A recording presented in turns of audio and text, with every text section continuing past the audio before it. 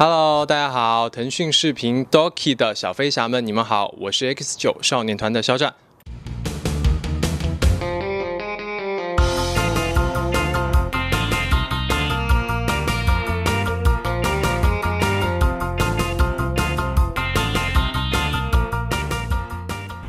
皇室中人，墨染和吉冲二者有什么不同呢？在塑造这二者形象时，有什么心得可以跟大家分享？好，同为皇室中人，但是我觉得两个的性格首先就差很大。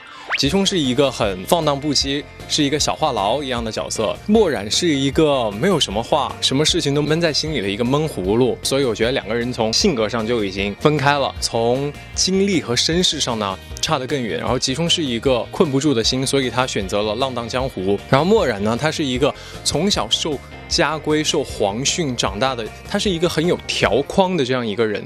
我觉得在演吉冲的时候，就是放飞自我。你知道那个时候就是胡子也不刮，然后妆也很淡很淡，就是每天就是感觉自己要跟吉冲融为一体，邋里邋遢的有一点点。然后拍墨染的时候，其实就是可能跟我自己的性格比较像，所以就是比较自然一点，可能就是拿捏起来，然后比较容易一点。会画画、会设计的你，最近还有空动笔画画吗？粉丝们都在期待你的作品哦。其实有，但是现在用笔很少了，现在都是用那个，我买了一个电容笔，然后会在屏幕上面画。现在用软件画的比较多，然后真正用手用笔去画的比较少一点，但是都有在坚持。对自己的墨染打多少分呢？为自己打个扣吧。墨染多少分啊？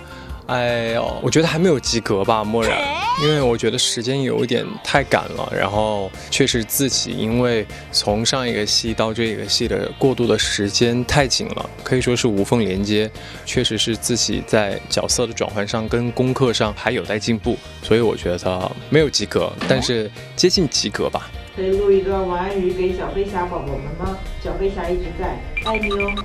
嗯，就是有一点鸡皮疙瘩。好，那我开始了啊！夜深了，赶紧睡觉吧，不要再玩手机啦，赶紧睡了，不然黑眼圈要重喽，要变小熊猫喽，赶紧睡吧，晚安。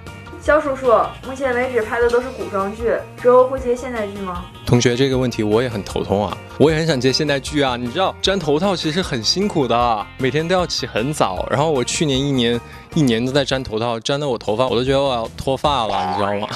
我也希望以后可以接到现代剧吧。然后我觉得现代古装其实不去抗拒它，我觉得如果是好的剧本，我都可以考虑。以后最想挑战哪一种角色，以后想挑战一个 BT 的。